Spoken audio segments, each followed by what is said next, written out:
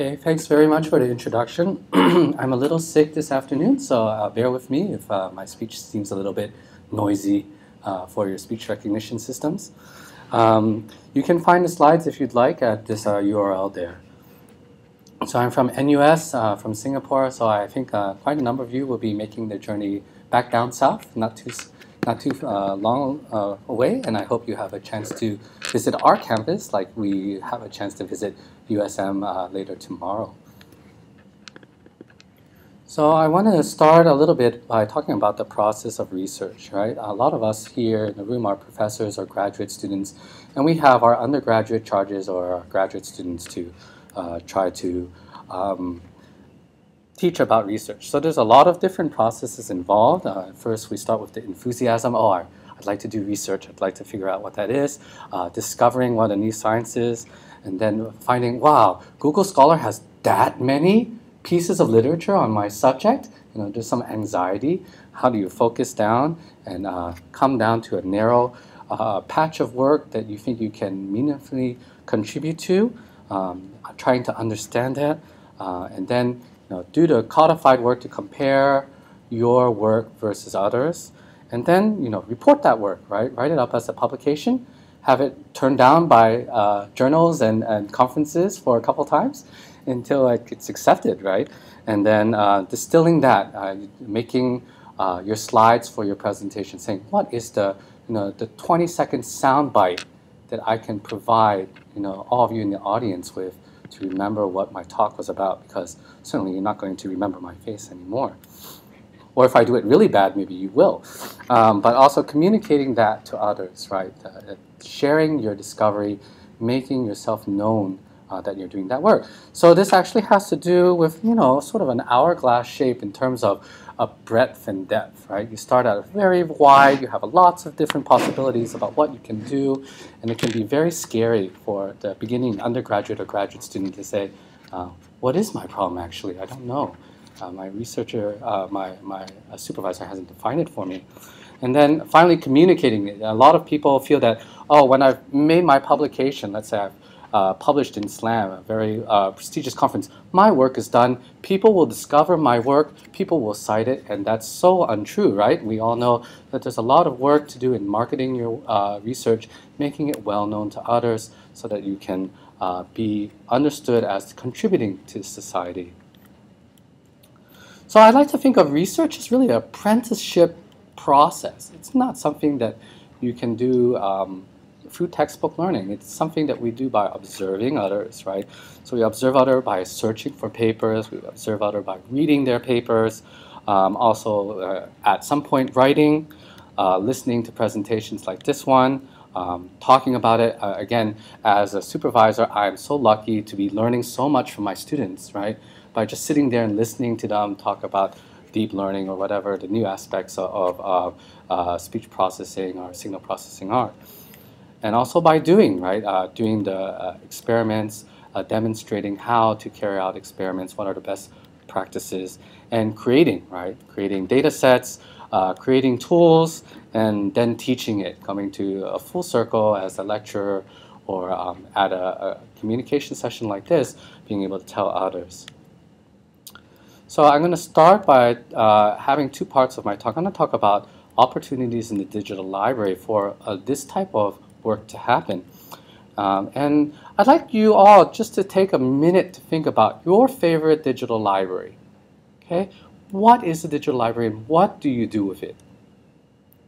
Okay, when I survey students in my class, this is the answer they tell me. Right, a database of PDF files for reading. Now, as a natural language processing researcher, that really irritates me, okay? Because uh, we all know PDF files are just files, right? There's actually a lot of knowledge in those files. Why, why are we treating them as atomic elements in a database, right? Does that make any sense? You know, we, we have papers that we get a search result from, but we don't bother to introspect what's in those papers, right? To do that requires you to read. Oh, sorry, our machines aren't powerful enough to tell you anything about the paper itself. We just know how to search for it by abstract and title words. That's about it. So I think that's not very um, a good use of, of scholarly material that all of us in this room are creating, right? We're creating a corpus, right? A corpus of language in whichever language we publish in, uh, whether it's English, French, or German, or Chinese, or Malay. Uh, but you know, people have been trying to figure out how, how to improve that. So librarians have and, and end users have thought, okay, maybe what we can do is support reuse. We're going to make it easier to cite works. We're going to uh, easier to create reading groups around work and annotate. And computer scientists, while being narcissistic as we are, um, we like to find out about the prestige of others, right, ourselves. So we uh, in, uh, look at citation count, we look at uh, being able to facilitate finding authors and papers. All those are really important, but I'd argue that we're leaving out a very special group of people those are the people who need to read our papers. Huh? What happened about those? Right? Let's say you are a, a postgraduate student or an undergraduate, and you're you know you're really excited. You got attached to this big professor, and um, uh, you want to contribute to society, and they throw you into the lion's den, right? They say, "Oh, read these 20 papers and tell me what you think," right? And then you download them, and I think we can all remember when we were at that point in time when we were first reading our first research paper, nothing made sense, right? And nowadays we have things like Google Scholar, still nothing makes sense, right? Because you look up things, there are zillions of papers, they all match, but your professor comes back and says, these aren't the papers you should be looking for, right? Because they're not by the right people, they don't use the right terminology, all these things.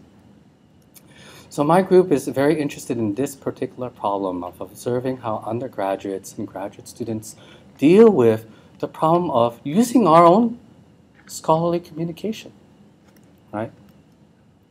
So of course, there's some obvious directions we can go. We can build a platform for collaborative annotation. Let's take a PDF file, and, and we, we uh, anyone who's done any work with PDF will know this is a much hated format, right? Because uh, you can print it. It doesn't print very well sometimes, but try to get text out of a PDF. Good luck, all right? Um, but in any case, what we'd like to be able to do is say, if we can do that, what types of things can we do? Could we make uh, an annotation tool that's not at the document level, but drilled down to specific levels for uh, lines and comments? Could we offer highlighting? Could we offer annotation? And uh, could we use our own machine-readable tools as scientists in the speech, language, and audio community to help us annotate those, right? Could we do keyword extraction or keyword spotting? And could we insert that in an annotation into these documents, which we care a lot about? I mean, I know I spend hours and hours, and, and my PhD students spend days and days writing their papers. Couldn't we treat that with a little bit more care? Okay?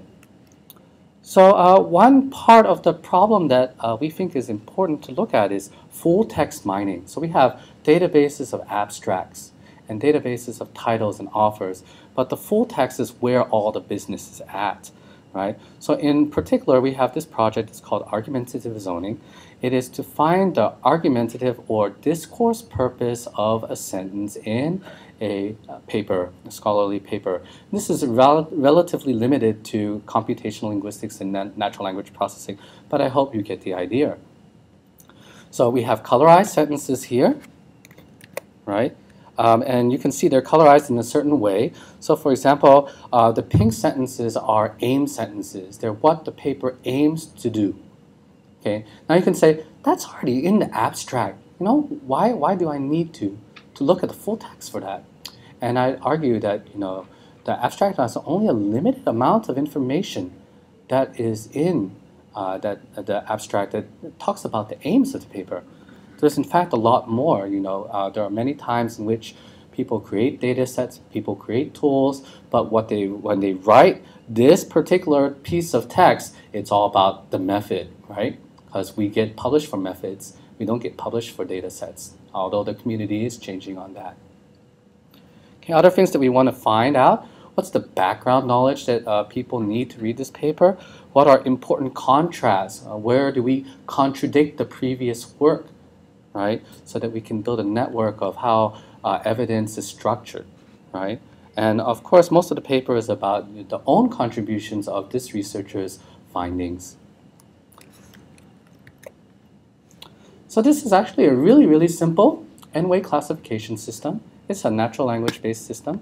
Um, it's based on you know simple things like maximum entropy classification, conditional random fields, and there are no surprises here. But what I'm trying to tell you is that these basic technologies that we are all working on for our domain-specific problems can be helpful for ourselves, right? We can use them and uh, fire our own guns on our own literature, right?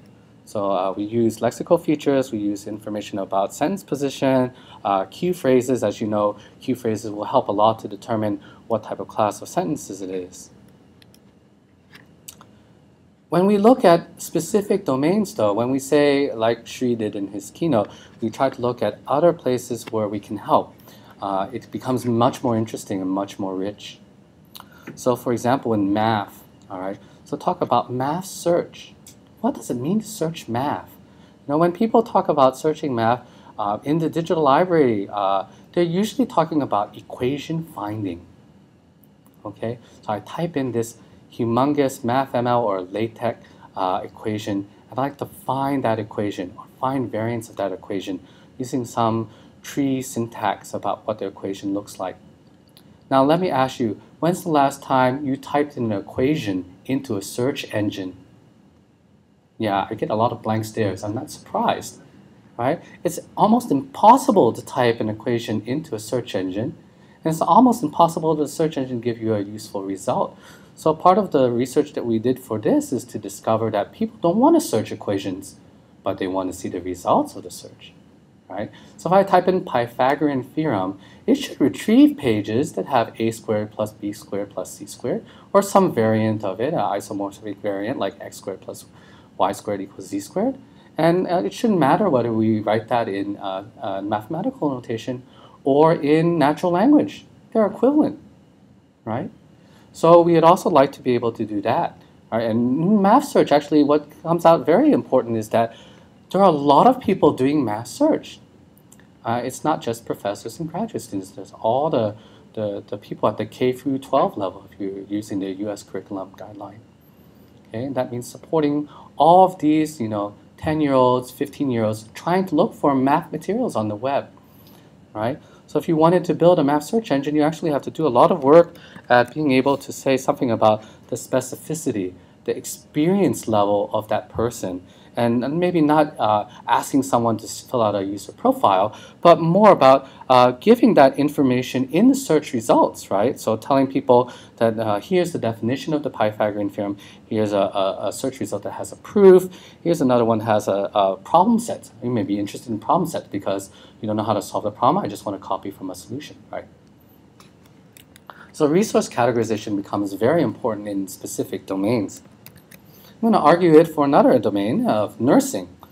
So in nursing, we also have this problem, right? And nurses and doctors are extremely busy. There's no way you can afford to bother them with their time.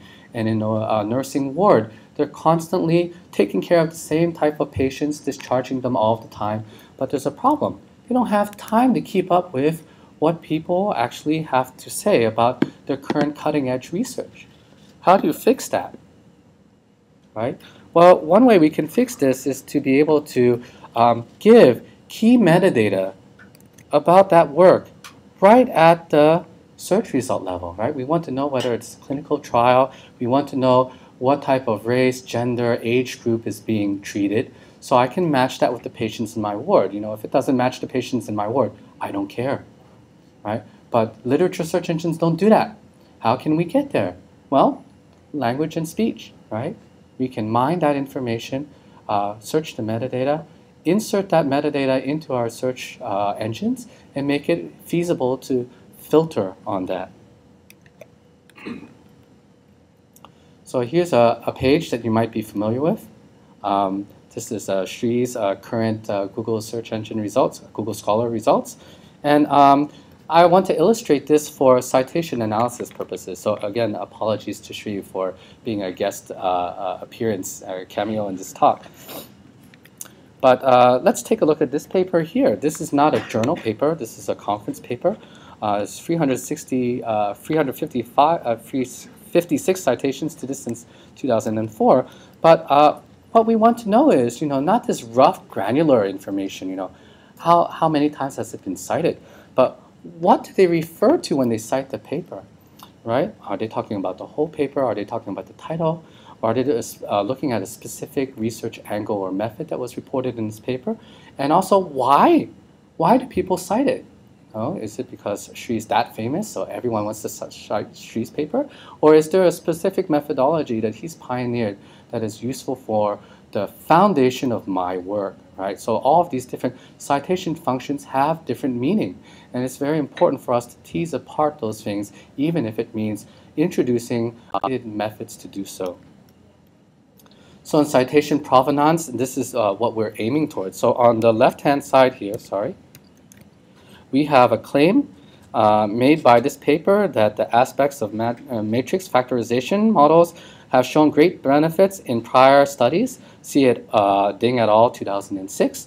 And you know, most of us in the digital library, we, if we actually care to find the provenance for the citation, we have to go download it, right? But of course, if we have good linking and we have good natural language processing, we could see something on the right, right? This is an excerpt of that exact paper, which is uh, uh, similar, you know, using cosine similarity or some type of edit distance to what you see on the left, right? So we can tie these two papers together directly in the digital library so that we can read without needing to divorce the context because all of us know the literature is not, you know, one point, one point, one point. It's tied in a web of knowledge to use ISI and Thomson Reuters phrase, right? So we want to be able to, uh, to enable all of that because actually when we studied citations, we were surprised. A lot of people cite without knowing what's in the paper at all. So you get citations that have nothing to do with the source paper. It just happens to have a couple keywords that match what you're looking for. Okay, and, and that's not very good practice for us because as researchers, we depend on these linkages to be meaningful. Right? Otherwise, we could have used Google, Google to do it, right? Wouldn't have been very helpful. So let's go on to something a little bit higher level, uh, scientific documents. How do you summarize them? Why not just use the abstract? Like I said before, the abstract is somehow just one measure of importance. This is what the author feels is important about their paper, right? But we've also noticed in the last uh, five years in the natural language community that actually citations matter a lot, right? They tell us what the community eventually thinks is important about this paper right? You could say, oh, this, this method is really good. And by the way, I created a corpus. Okay, and then everyone else is like, oh, you created a corpus. I don't care about your method. Let me get the corpus, right? And, and now I think a lot of us realize corpus creation is a very, very important fundamental part of research. And it needs to be better uh, elevated in terms of respect. And actually, when you're trying to summarize science, it's actually important to think about what piece of information you're putting in there. So this is not published work, I'm sharing with you anyways. But uh, when you look at methods, you know, uh, uh, author's own work is quite voluminous about this, right? They have paragraphs and paragraphs. It's hard to find a single sentence that says, what was it that they used to do this work, right? That's not hard to find if you look at citation sentences, right? People have distilled it so that they can talk about their own work right? But if you want to find out the methods, how well did it do? What's the F measure? What's the mean error rate? You want to compare papers across different areas that use the same data set. Well, then you're sunk, right? You can't use citation sentences for that. You have to go back to the full text, not the abstract, to find that piece of knowledge, right? So actually using all of these different networks of knowledge, putting together all of these different texts are critically important for what we want to do for automation, but what we do every day as researchers. So we have some related work. Uh, work. It's a little bit meta because it's on related work summarization. The idea is to take a relate, uh, paper, remove its related work paper, and generate it using natural language processing. Does this sound really sketchy? It is. Yeah, it's not easy to do at all. But what we found from this uh, work is that you can basically have some canonical structure that's generated by um, some type of template uh, for much of the argumentative purposes of creating a related work summary. But the details of the papers need to be pulled from citation sentences and source sentences in the document. And so it becomes feasible to construct a, uh, a substitute uh, of a related work section. Of course, there's a lot of work to do here. For example, if you wanted to uh, properly position the related work with respect to the current work, you would need to understand how the argument of your work is being portrayed, right? You want to paint weaknesses of previous work, right, in uh, conducting what you're talking about. So um, as was introduced, I am the caretaker uh, of the ACL Anthology. Some of you may know this resource if you are working in NLP or speech. Um, it is the Association of Computational Linguistics archive of all works. And I got this question over lunch. Uh, it happens to be open access, unlike IEEE, unlike ACM. All of your proceedings there are free for you to use. Okay, as scientists, we don't do any royalties. We copy left it under Creative Commons. Okay, so this presents a really nice corpus which is not encumbered by licenses for us to study our own language, right? I mean, some of us here are language researchers, we're speech researchers as well. Why don't we study our own language? Right, so we compile, uh, at least by Google Scholars count, 15 of the top 20 proceedings and venues in, uh, uh, in NLP and CL, and there are about 30,000 uh, publications there, growing at about 10% per year. So uh, one thing that I wanted to show you about this interface is that uh, as of this year, we've started a system to uh, create machine-readable formats of literature. So uh, using uh, very simple uh, LaTeX to HTML methods, we have created a resource that allows us to look at papers that have um, an XHTML representation of that. I'll just pull up one of these. In fact, I'm just going to click to it here. So this is HTML, um, and so it's easy to scrape. Uh, we have all the figures and the, the, tables from this, and it becomes up to us as uh, uh, analyzers of video, image, and text how to make sense of all of that, right? How, how do we uh, make sense of the, the figure caption, uh, the figures itself to make uh, search engines that allow us to introspect into our papers.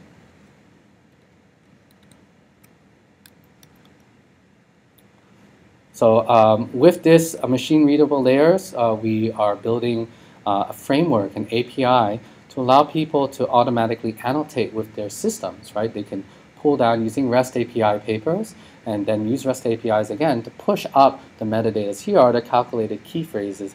Here are the um, um, other enriched keywords for a figure or uh, linking uh, papers to each other. Here are other suggested papers if you want to read uh, after this one. So our group has been trying to tackle this from a harder problem. What happens if you don't have LaTeX, right? If you have just PDF, right? A lot of us uh, have actually discarded our original source files or uh, they've been lost. And the only thing of record, of note, is PDF, right? And that's un very unfortunate. I, I, caution all of you, please save your source for your, your documents because they will be necessary. Uh, but uh, if we don't have that, what we have at NUS is a service to try to recover what people in uh, scholarly literature is the cow from the hamburger. Not a very pleasant analogy. I apologize for that. But you get the idea. Is that uh, you've processed all of this, distilled this to a PDF, uh, a printable, a readable format, but not at all amenable to machine analysis. So what we have done is to create a service that will try to undo some of that damage that's done uh, to be able to link references to each other using something like reference string parsing to be able to find the citation markers as uh, CiteSeerX and other systems do, but also to be able to align headers to each other. So if you call an evaluation section evaluation, or you call it experiments, or you call it discussion, you can align all of those together. That makes it easy to uh, extract results from various papers and compare them uh, in, in a framework. And also offer affiliation matching, which is important for those of you who are interested in bibliometrics. So the second half of my talk uh, is about teaching. And I'm doing this right now, hopefully, uh, not uh, putting you to sleep. I can see most of you are still awake and paying attention, and that's great. Um, but uh, yeah, here is another uh, apology to Sri. We come to these types of presentations all the time, right? You're here in Penang. You should be outside enjoying the sunshine and the seaside, but here instead you're stuck in this air-conditioned room with me. But we attend these workshops for the purposes of uh, understanding each other's work, right? And a key artifact is the slide presentation, right? All of you who are making presentations today may have thought, you know, I'm going to make this public on the web so other people can use it. And in fact, that's what I tell my students to do, you know, before they go into a research area, look for slides, right? Because from visuals come uh, a very high level understanding that is cemented later on by text, right? So uh, keynotes are unfortunately not a very good place to draw from, but technical papers are. So some presentations are, are good summaries of the work, and uh, they need to be aligned, not necessarily at the coarse grain, but more at the finer granularity about what these papers are about. Right? So you have conference proceedings, you have the slides, what can we do with them? Maybe you even have the video uh, taken there in the back, and we'd like to align all of these together. So here's a prototype. This is a, a really old uh, prototype. I apologize for the screenshot. This is of an XML, uh, sorry, uh, a database conference paper um, where we are taking the two different uh, modalities and weaving them in context, right? So if you imagine yourself as a researcher, you want to see the slides, but at some point, um, you know, I've looked at the slides. I want to see where these results come from, right? Uh, okay, so I'm going to switch it from slide modality to text modality. And then I have the elements of the text right there. You know, I can drill down and see what are the results that I'm talking about. And I'm able to, you know, seamlessly, well, semi-seamlessly, go through these two interaction levels, right? So we, we think, you know, just like the web of papers, there's a web of artifacts connected with a paper too. There are papers, there are their presentations, there are their videos, there, are data sets, there are the citations. So we've done some work on this, and here's a call to arms. We are a natural language processing researchers uh, in our group, not multimedia. So I appeal to all of you. This is a worthwhile challenge to solve because you could use it every day, right? So instead of having them, um, you know, as separate modalities, we'd like to output some type of alignment map that allows you to see both of them together. And then by analyzing a corpus of uh, slides that we've gotten from the database communities, we find a lot of slides are, uh, you know, shouldn't be aligned like thank you slides or outline slides, but quite a lot of them are image slides. There's almost no text on this. Even if you're a superior natural language processing researcher, you would have a very tough time aligning these slides. And there are also drawing slides, which are almost the same as image slides, but they have little snippets of text. Right? And you can see this here, right? You can see um, all of these textual labels here. And if you send that through an OCR recognition system, it'll get all those small labels, but you won't get intelligible text. Right? And uh, what happens is if we send this through a very simple text-based alignment, which is basically looking at the cosine similarity of uh, text in the paper, text in the slides, and we try to align them together, it's not surprising that image slides are the worst, right? But they are the ones that convey the most meaning. I mean, if you're just to align the text, I could read the paper anyways, right? Why bother with the, the images, right? So in fact, it's very important to use multimodal analysis to analyze what is on the slide, right? What, what, what are those charts that you have there? Can I recover data points from them? Can I compare to another chart done by another professor or another graduate student? And so actually a lot of these uh, uh, uh, errors belong to really critical pieces of information that you need as a researcher when you're trying to replicate, when you're trying to compare with others' work, right? Um, and even at the very beginning levels where we're trying to make sense of the research, those are important artifacts to comprehend. So uh, slide alignment um, is uh, actually quite uh, easy to do from a monotonic standpoint because speakers usually don't jump around too much. There is a caveat though, sometimes in papers, related work sections appear at the end or they don't appear at all in talks because of the lack of time, especially with short papers. So there are all of these artifacts that you need to uh, pay particular attention to if you're working in this uh, uh, ballpark. So our, our architecture for this system was really simple. Uh, we did a very simple uh, slide image classifier. We didn't do anything fancy using just a histogram of gradients to try to determine that. Uh, probably not the best, uh, but that's what the student chose. Um, and uh, using that, we're able to do some alignment. We were able to say that this part of the paper aligns to this artifact in, in the slide set.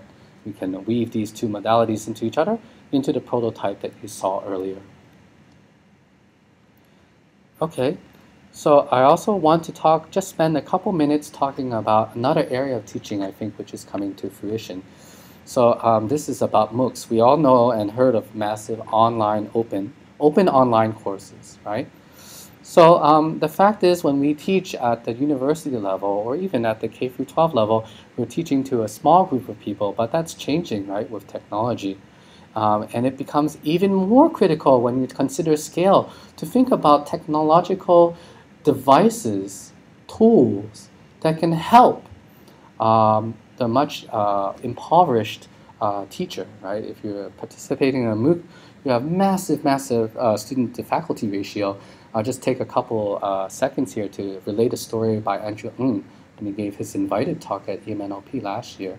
So he said, you know, uh, I was recording my lecture in my home studio, um, and I, you know, spent 15 minutes, dashed off a small lecture, published it to, to uh, YouTube when it was back on YouTube.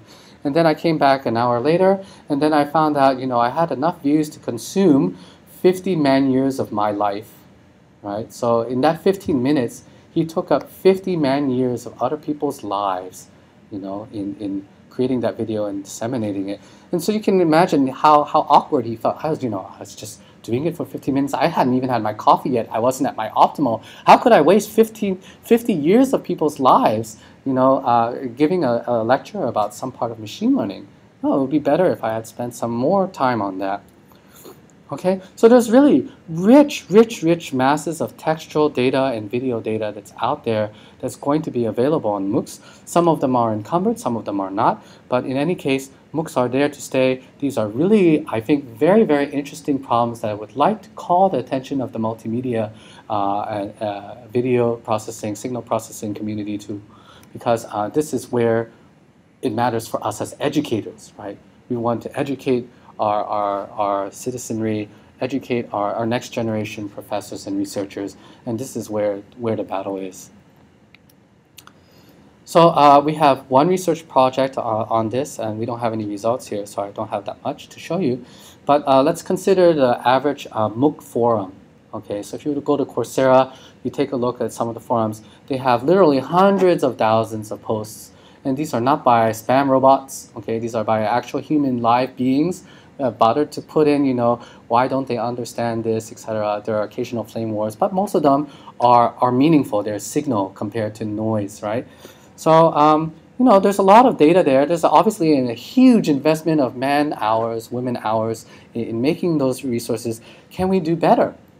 So instructors have a limited amount of time. How could they best participate in their own courses forums, right? You want to say, let's have a, a search engine, shall we?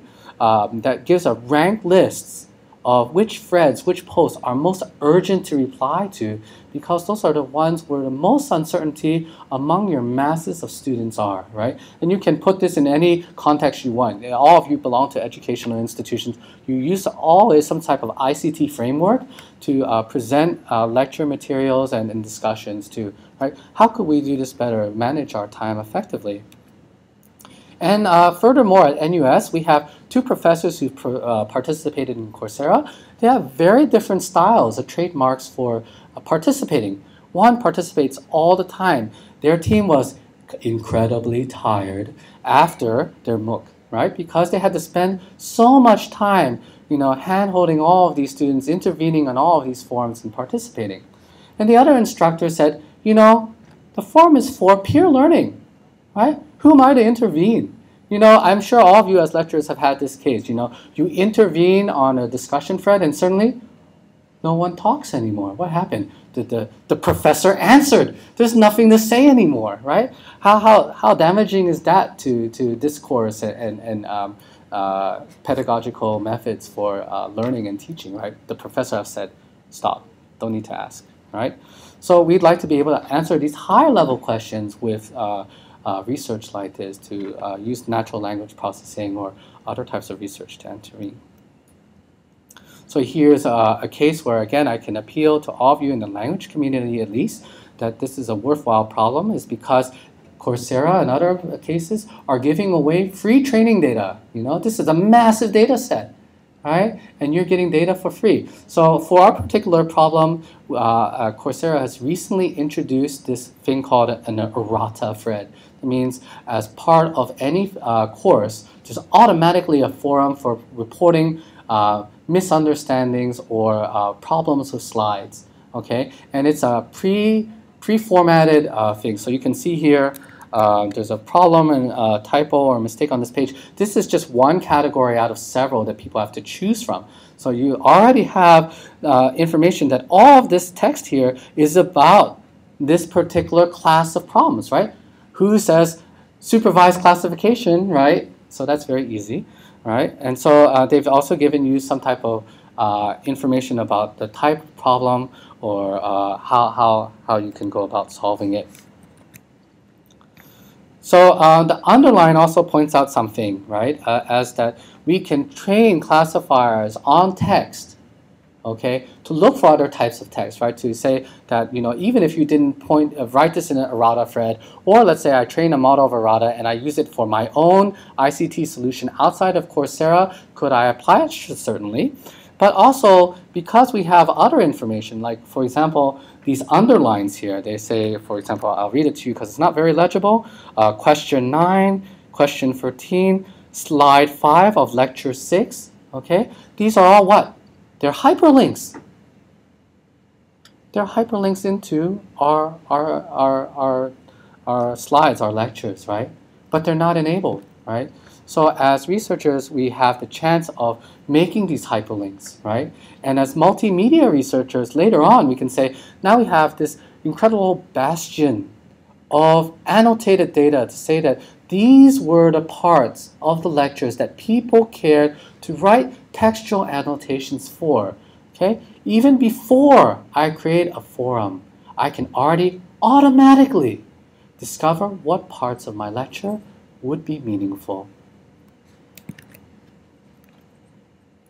So I also end, want to end with uh, a really short uh, clip uh, that was done by an allied professor at NUS. And so uh, this is related to Khan Academy. Who here knows of Khan Academy? Okay, so several of you. It's a really good resource for those of you who have children for teaching, uh, you know, mathematics, but many other subjects. So uh, Salman Khan, and the innovator of this, he got a, a Microsoft grant from, uh, not Microsoft, the, the trust that uh, Bill and Melinda Gates run uh, to, to make this uh, Khan Academy site bigger. But basically what he does is he makes short YouTube videos about certain subjects. And, you know, it can be about math. But uh, very interestingly enough, he treats the, the, the YouTube as very low-tech uh, solution. So he just treats it as a blackboard, you know, with color pens, etc. But this um, helps in many ways, okay? It's not a slide lecture as we would normally give in a presentation like this, but uh, it affords other types of navigation.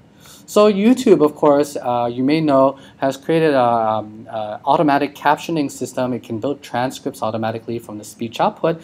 And you see that here on the bottom, right? So all of these things, I'll just tell you what the cosine of pi over 4 is. Sometimes it's right and sometimes it's not. But somebody trying to quickly jump, let's say I have a, a fourth grader who's trying to jump to the specific part, has to read this entire transcript in order to figure out what's going on. Meanwhile, the board, as you can see here, is filled with lots and lots of symbols, and you can see exactly which one you want to talk about, but somehow you can't jump to that part. So what he has done is to create Note Video, which was a, a CHI paper this year, uh, which allows you to uh, automatically jump to the part of the video where that particular Blackboard notation was being introduced. So I'll just uh, end with this clip here. It's very short, so it's a teaser, unfortunately, so you don't get the full technical details for that.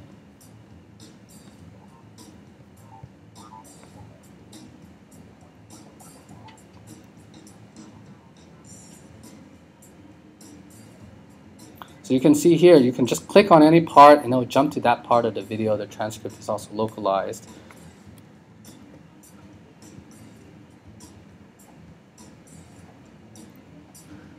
Yeah, so uh, again, apologies, it's not the full clip. But I can, I hope you can get some sense of what's possible out there when you're talking about multimedia in terms of uh, teaching methodologies. I think those are really important ways that we're going to see in the future. So I just want to sum up. I know we're running a little bit behind time. So I'd like to say, uh, give you a call to arms as those of you in the speech, language, and audio. Uh, you know, text is certainly a predominant form of teaching, but it definitely is multimodal. Uh, image, video, audio all feature in this. Uh, maybe text is uh, the easiest uh, compressed way of getting information, but certainly all of the other characteristics are important to make a holistic sense. Right? So we can think of all of those things that I talked about at the beginning. You know, watching, trying to make understanding of it, that's video. Then slides and documents, trying to comprehend. And then finally, looking at the finer grain levels, looking at figures and, and data sets, comparing and writing, those types of synthesis skills are also at work and specific challenges, I think they're at all levels, just like Sri also illustrated in his keynote. Just the groundbreak, uh, groundwork, recovering clean data from noisy, you know, because we have lots of noisy data in many ways. We don't cite the same way, we don't use the same language, but then being able to build search management and standards and offering tools to make this type of data more widely available, more useful to end users, and to also finally at some higher end build insight, right? Be able to build forecasting tools, synthesis tools to support to support and not supplant using again Sri's lecture earlier, uh, the scholar. So with that, I'd like to just end. Let's be narcissistic. Let's care about ourselves a little bit more, okay? And, uh, uh, and understand that we will always have the full spectrum of data as we have in any type of multimedia context. We'll have clean data, noisy data. We'll have conventions that people create to help ourselves learn from automatic tagging, and that to be able to build uh, tools that can help us understand our lives better. So thanks you all for listening, and uh, I'd like to also thank all of my fellow WING members whose uh, work I've uh, compressed in this 40-minute uh, segment. Thank you very much. Okay, thank you, uh, let, us all remember to be. Anyway, any questions from the floor?